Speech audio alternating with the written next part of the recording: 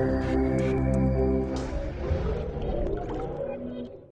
happy to be here today in this inaugural function of Global Investors Meet Expo.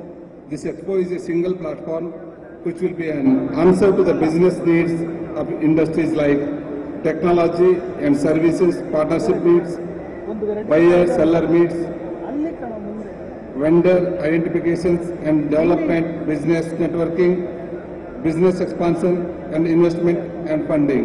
In this Global Investors Meet 2012, the GIM Expo is very significant part which is contributing to promotion of business and trade. I'm happy to note that more than 500 exhibitors across 14 focus sectors and many public sectors undertaking, banks, research institutions, etc.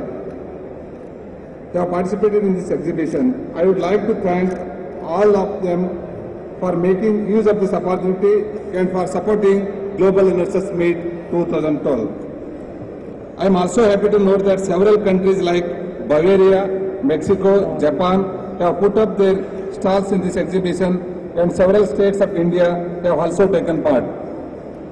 As a part of Expo, B2B meetings are also planned which provides you to an opportunity to explore expanding your business.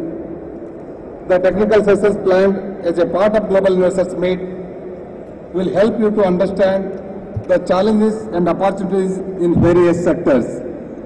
I would like to thank all industries association representatives who are present here for their wholehearted support and for mobilizing participation of industrialists in this exhibition. I would like to thank Principal Secretary, Commerce and Industries,